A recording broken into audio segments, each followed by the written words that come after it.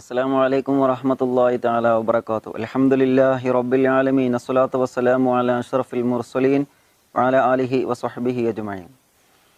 ഹബീബ നബി സല്ലല്ലാഹു അലൈഹി വസല്ലമ തങ്ങൾ പറയാണ് അന്ത്യനാളിൽ എനിക്ക് മൂന്ന് എതിരാളികൾ ഉണ്ടാകുമെന്നാണ്. എന്റെ ഉമ്മത്തിൽ നിന്ന് മൂന്ന് ആളുകൾ മൂന്ന് വിഭാഗം ആളുകൾ എന്റെ എതിരാളികളാണ്. സ്വഹാബത്ത് അത്ഭുതത്തോടു കൂടി ചോദിച്ചു മൻഹും യാ റസൂൽ അള്ളാഹു സല്ലല്ലാഹു അലൈഹി വസല്ലം ഞങ്ങൾ ഏറ്റവും കൂടുതൽ അവിടുത്തെ കരുണ പ്രതീക്ഷിക്കുന്നത് അന്ത്യനാളിലാണ്.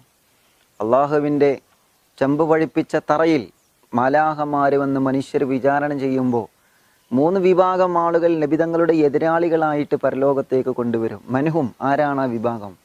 നമുക്കൊന്ന് പഠിക്കാം. ഹബീബ് അനബി സല്ലാഹു അലൈഹി വസല്ലമ തങ്ങൾ ആദ്യം പറയുന്ന ഒന്നാമത്തെ വിഭാഗം എന്റെ പേര് പറഞ്ഞ് മറ്റൊരാളെ വിശ്വസിപ്പിച്ച് എന്റെ മുത്തുനബിയാണ് സത്യം എന്ന് പറഞ്ഞിട്ട് നിങ്ങൾ മറ്റുള്ളവരെ വഞ്ചിക്കുന്നവനാണ്. ഉദാഹരണത്തിന് നമ്മൾ ഒരാളുടെ കാശ് കടം വാങ്ങണം. ഒരു പതിനായിരം രൂപ. മുത്തുനബിയാണ് സത്യം. അത് പറയാൻ പറ്റുമോ എന്നുള്ളത് വേറെ വിഷയം. എന്റെ മുത്തുനബിയാണ് സത്യം. ഞാനത് പത്ത് ദിവസത്തിനുള്ളിൽ തിരിച്ചു തരാം എന്ന് നമ്മളൊക്കെ എപ്പോഴും പറയുന്ന കാര്യമാണ്. അങ്ങനെ പറഞ്ഞ് പറഞ്ഞ വാക്കിനെ വഞ്ചിക്കുന്നവൻ. അവൻ എന്നെ വഞ്ചിച്ചവനാണ്. അവൻ നാളെ അള്ളാഹുവിന്റെ ലോകത്ത് എന്റെ എതിരാളിയായിരിക്കുമെന്ന് മുഹമ്മദ് റസൂലുല്ലാഹി സുല്ലാ അലൈഹി വസല്ലം തങ്ങൾ പറയാണ്. അപ്പോൾ വളരെയധികം ശ്രദ്ധിക്കുക. മറ്റുള്ളവർക്ക് വാക്ക് കൊടുത്തു കഴിഞ്ഞാൽ അത് പരിപൂർണമായിട്ട് നമ്മൾ നിറവേറ്റണം. ഇപ്പോൾ വിവാഹത്തിന് വരാമെന്ന് പറഞ്ഞിട്ട് വരാൻ കഴിഞ്ഞിട്ടില്ലെങ്കിൽ നമ്മളത് വിളിച്ചു പറയണം. വരാമെന്ന് പറഞ്ഞിട്ട് മനഃപൂർവം പോവാതിരിക്കൽ അത് വാക്ക് ലംഘനമാണ് അത് ഒരു വിശ്വാസിക്ക് ഒരിക്കലും യോജിച്ചതല്ല. രണ്ടാമത്തെ നബി സല്ലാ അലൈഹി വസല്ലം തങ്ങൾ പറയാണ് എന്റെ രണ്ടാമത്തെ ശത്രു എന്റെ രണ്ടാമത്തെ എതിരാളി. സ്വതന്ത്രരായ ആളുകളെ അടിമയാക്കിയിട്ട് അവരെ വിറ്റ് കാശാക്കുന്നവനാണ്. നബി സല്ലാ അലൈഹി സ്വലമാ തങ്ങൾ ഈ ഉമ്മത്തിന് പഠിപ്പിക്ക പഠിപ്പിച്ചു കൊടുക്കുകയാണ്. മൂന്നാമത്തെ എന്റെ എതിരാളി. നബി തങ്ങൾ പറയുന്നു ജോലിയെടുത്ത കൂലിക്കാരന് ജോലിക്കാരന് ശമ്പളം കൊടുക്കാത്തവനാണ്. ഒരുപാട് പ്രവാസികളൊക്കെ സങ്കടം പറയാറുണ്ട് ശമ്പളം കിട്ടാൻ പ്രവാസികളും സ്വദേശികളൊക്കെ.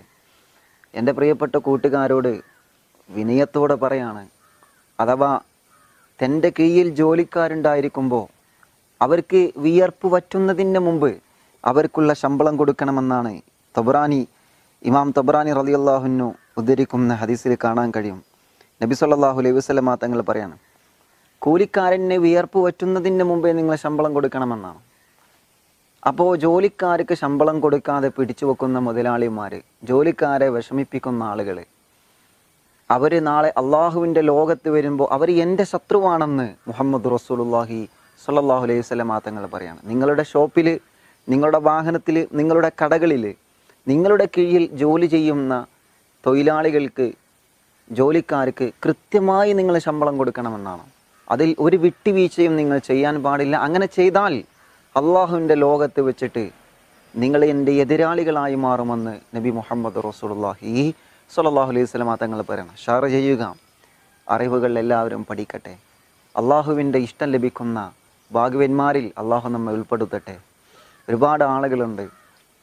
ജോലി ചെയ്തിട്ട് ശമ്പളം കിട്ടാതെ വിഷമിക്കുന്നവർ അള്ളാഹു മുത്തുനബിയെ കൊണ്ട് അവർക്കൊക്കെ സലാമത്ത് നൽകുമാറാവട്ടെ.